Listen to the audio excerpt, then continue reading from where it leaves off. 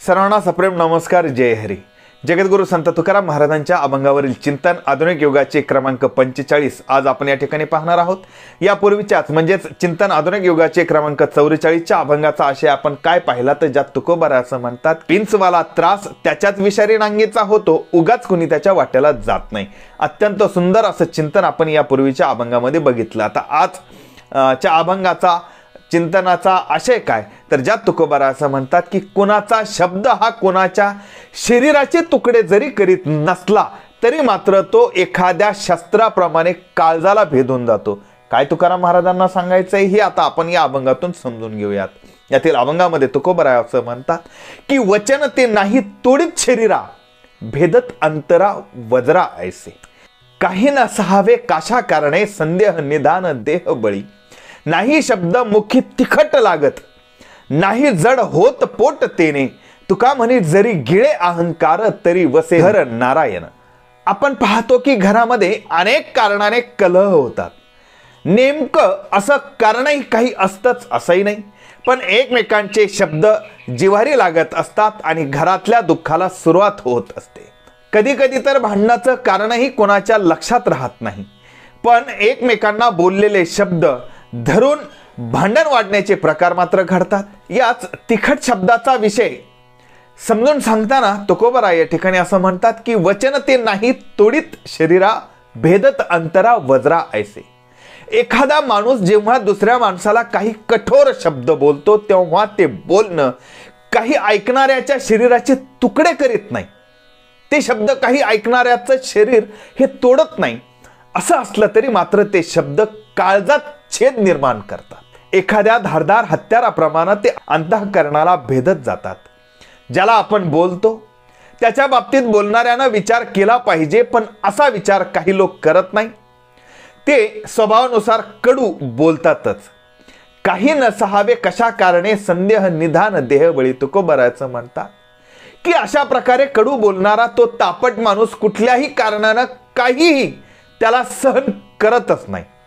याच्या एकदा का डोक्यात एखादा काही संशय घुसला तर तो त्याच्या मेल्यानंतरच दूर होतो.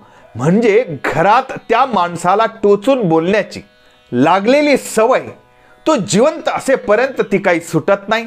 ती सवय त्याच्या मृत्यूनंतरच संपते. खरं पाहिलं तर नाही शब्द मुखी लागत तिखट नाही जड होत पोट तेने. तुकोबराय म्हणतात की अशा प्रकारे बोलणारा माणूस जेव्हा काही शब्द बोलतो तेव्हा ते काही त्याच्या तोंडालाही तिखट लागत नाहीत आणि ऐकणाऱ्याच्याही ते काही ऐकून पोट जड होत नाही. म्हणजे त्या शब्दांना चव असली असती तर नक्कीच ती तिखट असली असती. पण ती नसल्यामुळं त्याच्या म्हणजे बोलणाऱ्याच्या तोंडाला आपण बोललेलं शब्द किती तिखट आहेत हे कळत नाही. बरं चवच नसल्यामुळं ऐकणाऱ्यालाही तिखट खाऊन पोट जड झाल्याचा त्रास होऊन विव्हळण्याचा प्रसंगही येत नाही. त्यामुळं बोलणाऱ्याला आपल्या बोलण्याचा समोरच्याला काही त्रास झालाय का? हे दिसत नाही. तो सवयीप्रमाणे बोलत राहतो आणि घरातील वातावरण खराब होत राहते. बोलणारा हा काही विशिष्ट अहंकारातूनच बोलत असतो. शब्द शरीर तोडत नाही ते तिखट लागत नाही आणि त्यामुळे पोटही जड पडत नाही. मात्र धारदार शास्त्राप्रमाणे काळीच कापतात. हे आपण या ठिकाणी लक्षात घेतलं पाहिजे. हे सर्व ज्या अहंकारातून निर्माण होतं त्या अहंकाराला प्रत्येकानेच आपल्यापासून दूर करण्याचं आवाहन करताना तुकोबरा या ठिकाणी असं म्हणतात की तुका म्हणे जरी गिळे अहंकार तरी वसे घर नारायण. एकदा का तुम्ही हा अहंकार गिळला की मग प्रत्यक्ष नारायणच तुमच्या घरी राहत असतो. समजून न येणाऱ्या तिखट शब्दांचा वापर होऊन ज्या घरात कुटुंबात सहकार्यात मित्रात शेजाऱ्यात कटुता निर्माण होते.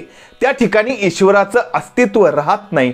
ईश्वर कोणत्या तरी दैवी रूपानं नव्हे तर शांतीच्या स्वरूपात आपल्या जवळ राहण्यासाठी शब्दांचा विचारपूर्वक वापर करणे ही गोष्ट आपण या अभंगातून शिकण्या आणि आचरण करण्यायोग्य नक्कीच आहे अशी एक विनंती आपल्या सर्वांना या ठिकाणी करतो. आणि हे चिंतन आपण नियमित ऐकत असल्याबद्दल आपले आभार मानत याला थांबवतो. धन्यवाद.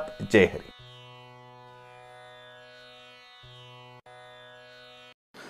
व्हिडिओ आवडला असेल तर नक्की लाईक करा शेअर करा काहीतरी कमेंट करा. आणि आवर्जून सबस्क्राईब करून बेल चिन्हावर क्लिक करा.